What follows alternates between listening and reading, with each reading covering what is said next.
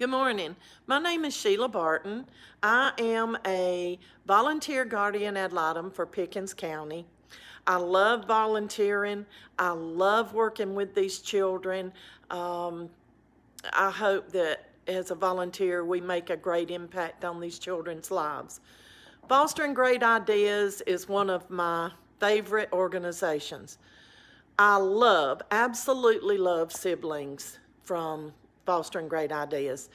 Um, Julie Eaton is who we use in Pickens County mostly, and she is amazing. These children love her as as as much as they do anybody and they look forward to the visit with Julie as much as they look forward to the visit with their siblings but thank goodness that Sib-Link is there that they can bring these siblings together um, a lot of time these these siblings get kind of pushed out and they don't get visits with each other and uh, Sib-Link makes that happen and it makes it happen in a fun environment, a, a fun time for these kids. And like I said, Julie Eaton is just, she is tops. She is absolutely tops.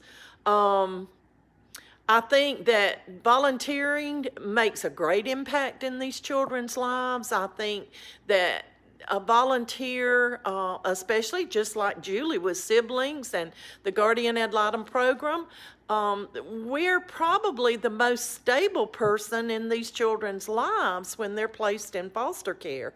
Um, or put in a group home. We're there for these children 24 7.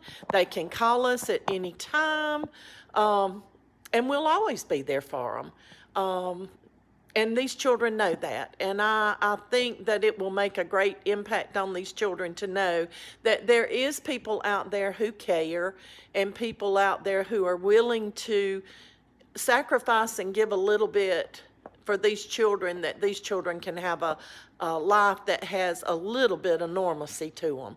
Since um, being in foster and care and all, these children miss out on a lot.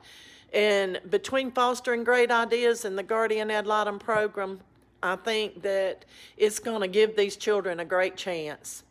Uh, thank you for all you do.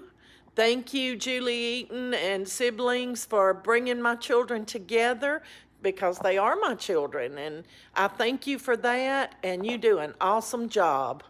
Y'all have a great week. Thank you.